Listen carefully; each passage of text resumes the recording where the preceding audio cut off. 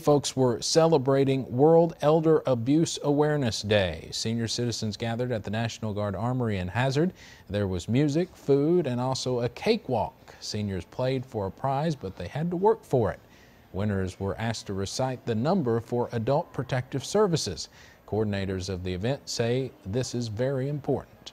I think that people don't really recognize what kind of uh, issues and problems there are out there and what kind of resources and services that are offered to them to help them overcome uh, elder abuse or financial exploitation. Coordinators say signs of elder abuse include unusual bruising, isolation, and money loss. For questions or to report elder abuse, you can call 1 800 752 6200.